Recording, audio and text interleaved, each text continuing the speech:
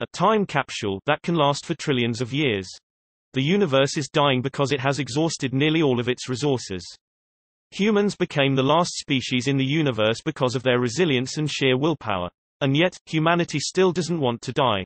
Relying on the Big Bounce theory, scientists developed a sort of time capsule. It was designed to hold up to 200 people, plant seeds, and animal DNA. The people, seeds and animal DNA would probably have to be frozen for trillions and trillions of years until another Big Bang was to happen. Requirements for the time capsule it would most likely need to be incredibly heat-proof the sheer light emanating from the Big Bang would probably melt most metals. It needs to be airtight, at least until it could land on a habitable planet. Regarding number two, it needs to be corrosion-proof as well.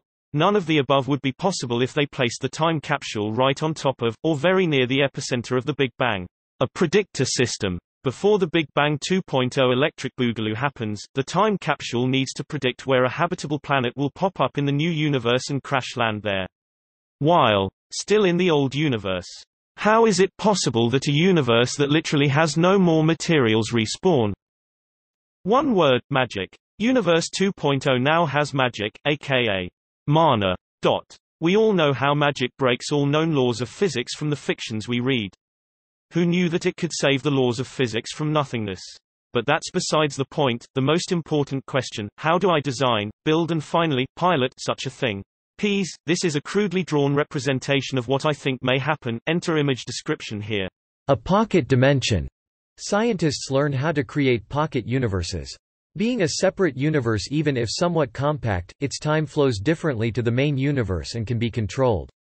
This means the inhabitants can be effectively frozen in time and sample the main universe once for a fraction of a second every billion years or so time is effectively sped up passing a trillion years every minute or so.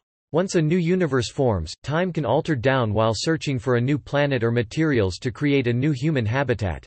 Pocket universes are a common trope in many sci-fi and fantasy series from Doctor Who to Dungeon & Dragons.